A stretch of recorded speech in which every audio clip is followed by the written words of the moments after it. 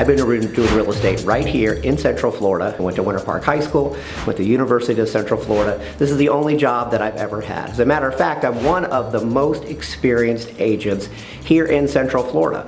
Our board assigns realtors when you sign up in a sequential order. We've had hundreds of thousands of agents in the last 30 or 40 years. My MLS number is 7391, which meant I'm the 7391st realtor to ever sign up with the board, and I'm still helping people buy homes right here in the area every single day.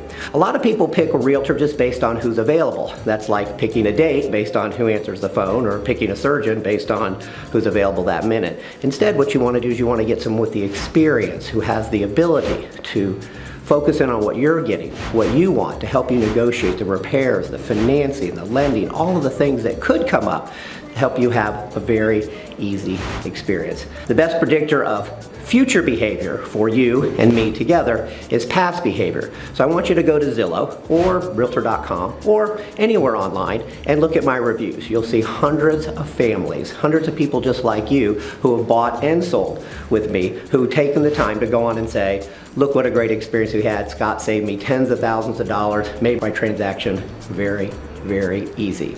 So when you're gonna think about getting a realtor, especially if you've got one or two in mind, I want you to go to Zillow and type in my name, Realtor Scott Garrison. I want you to type in their name and just see what comes up.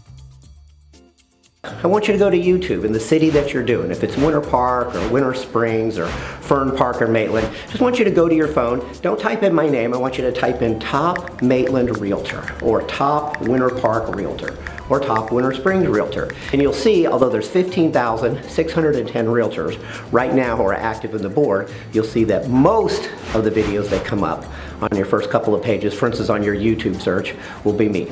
That's not an accident. If I'm that committed to the area that you're looking, if I'm that committed to marketing myself, imagine what I can do for you to help you find a home, just like all the other people that I've helped for the last 36 years.